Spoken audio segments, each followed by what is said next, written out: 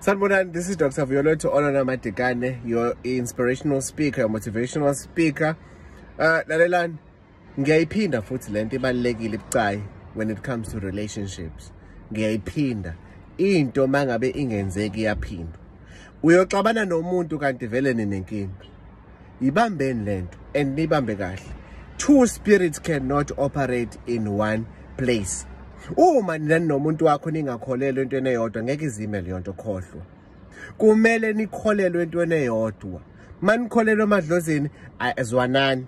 Manikholwa kashembe zwanani ngalokho. Manikholwa manisindisiwe zwanani ngalokho. Whatever type of religion or a belief system makuhlukene nizohlukana.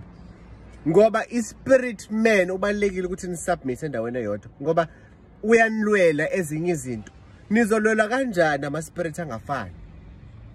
Imaphi ama-spirit azonilwela if nina nikhole ey'ntweni ey'ngafani nenza izinto ey'ngafani? Two spirits cannot operate endaweni eyodwa. Forget it. Forget it. Ngcono uphume udedele uhambe kuse-eli kholelwani kwinto eyodwa. Umuntu ongakholelwa nayo entweni eyodwa khohlwa forget. Forget it. Ngeke. Kumele kube i-altar likwazi ukuthi linivikele on its behalf. Yivumeleni leyo nto but if you don't allow the thing to happen in your life then kuzoba khona inkinga enkulu. You understand?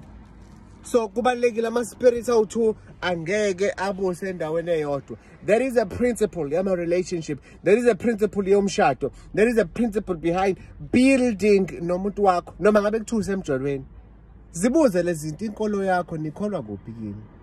Uzimisele yini ukushiya le religion uze la play ungakwenza yini? Are you ready to sell your soul as well?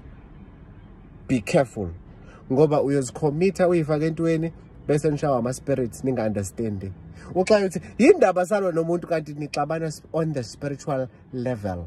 And you can't consult who are you gonna consult? Ngoba uspirit man wena wafidwa into eyi-one. Nizokwenza njani be careful